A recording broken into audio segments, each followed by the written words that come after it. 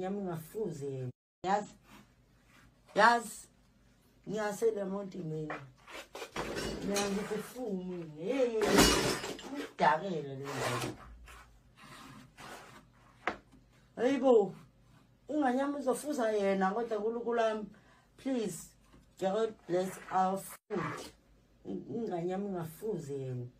Ifuze ifuze lo mama ingane yakho ayishina three days three days washiya umampintsha na three days. Nesibindi le njalo ayifuni ngabi le. Masiye emaphepheni iyakhuluma nasi sifebe senja yonya wena. Sune egolkoni wena.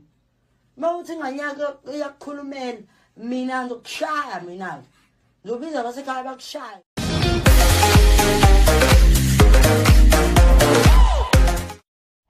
everyone, welcome back to Sunday Live Channel. Thank you so much guys for tuning in. To all my subscribers, thank you so much guys for amazing support.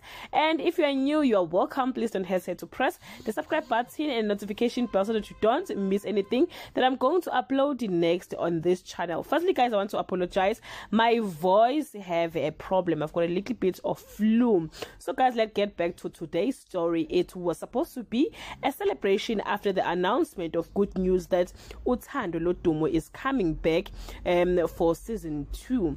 Um, but guys, after what Babes did yesterday on a live video, everything changed. On a live video yesterday, Babes was assumed to be drunk and she decided to insult her mother-in-law, calling him uh, all those words, Isfa and and and and um, telling her followers that Mampintsha's mom left her husband when he was three days old. She said she don't want her child to be like her.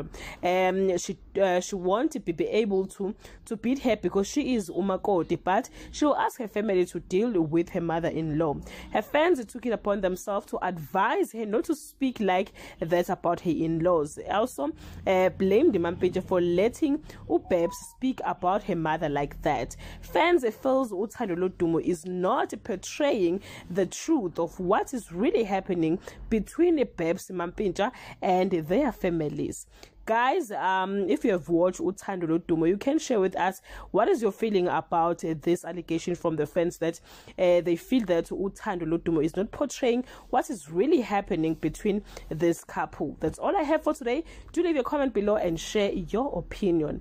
Have a nice day. Bye